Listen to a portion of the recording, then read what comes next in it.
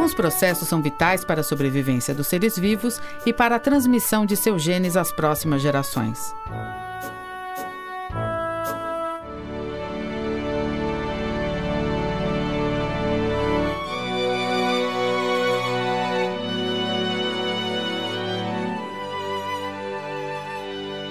Ao nosso redor, é comum encontrarmos vários organismos realizando esses processos vitais.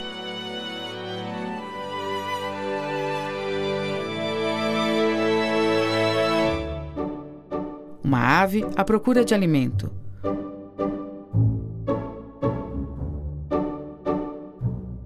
Uma serpente capturando sua presa.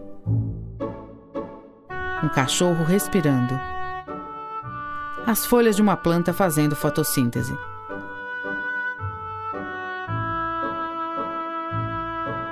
Uma árvore dando frutos.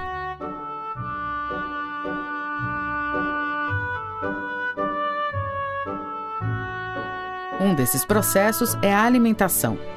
É através dela que os seres vivos extraem as moléculas orgânicas essenciais para a obtenção de energia e para formar seus tecidos e células.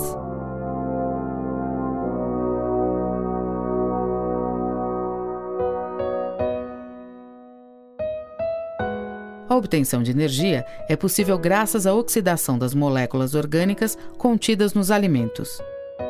Essa energia será usada em todos os outros processos vitais do organismo. Outro exemplo de processo vital é a locomoção. Grande parte dos seres vivos sai em busca de alimento e parceiros sexuais e consegue fugir de predadores. Isso seria impossível se não fosse pela capacidade que esses organismos têm de se mover.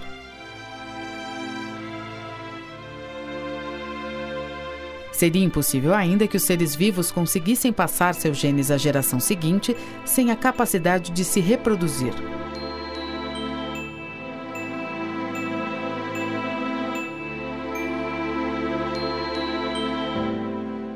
Mas e os seres vivos microscópicos? Será que esses pequenos organismos também realizam processos vitais? Se olharmos mais de perto para o mundo em miniatura habitado pelos microorganismos, veremos que sim. Assim como as aves voam em busca de alimento, os paramécios, protozoários unicelulares, usam o batimento dos minúsculos cílios que recobrem sua membrana plasmática para procurar comida.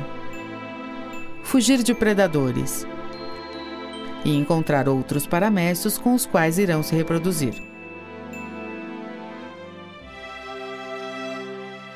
A locomoção por cílios também é uma característica dos seres microscópicos multicelulares, conhecidos como rotíferos.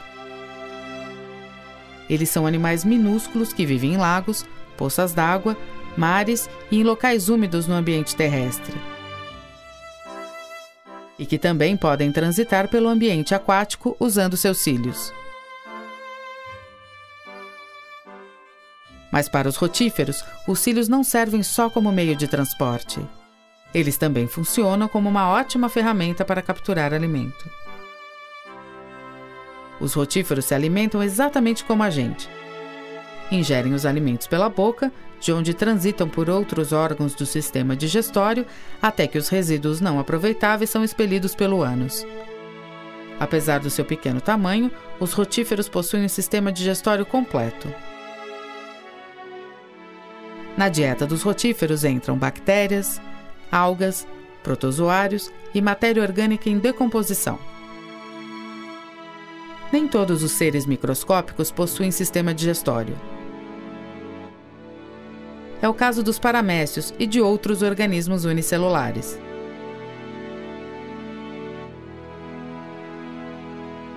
Os paramécios se alimentam de bactérias, algas e leveduras por um processo conhecido como fagocitose.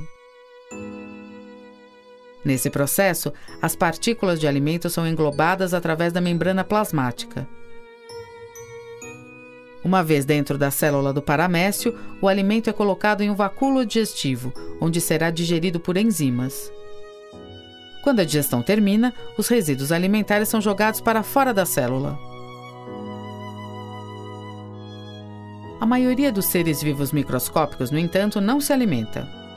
Conhecidos como autótrofos, esses organismos são capazes de utilizar a energia da luz do Sol para sintetizar moléculas orgânicas, um processo conhecido como fotossíntese. É o caso das algas e das cianobactérias. As algas realizam a fotossíntese assim como fazem as plantas. Por isso, apresentam clorofila e cloroplastos, que conferem às suas células a cor verde. Não importa por qual caminho os seres vivos obtenham seu alimento. Ele deve ser oxidado para liberar energia, que será usada em todas as reações químicas essenciais à manutenção da vida. Entre os microorganismos, existem os que realizam a fermentação, como alguns fungos. A fermentação envolve a quebra de moléculas orgânicas para a produção de poucas moléculas de ATP, que funcionam como armazenadoras de energia. No entanto, a maioria dos seres vivos microscópicos, assim como nós, realizam a respiração aeróbia. Neste processo, que necessita de oxigênio, as moléculas orgânicas são totalmente oxidadas e são produzidas muitas moléculas de ATP. As moléculas de ATP são essenciais para que os microorganismos realizem outro processo essencial à manutenção da vida na Terra: a reprodução. Assim como as plantas e os animais, os microorganismos também precisam se reproduzir. A maioria deles, no entanto, atinge esse objetivo sem a ajuda de parceiros sexuais, através da reprodução assexuada. Os paramécios frequentemente se reproduzem assexuadamente por divisão binária. Para tanto, eles crescem até um tamanho adequado, quando finalmente a célula se divide ao meio, originando dois novos paramécios.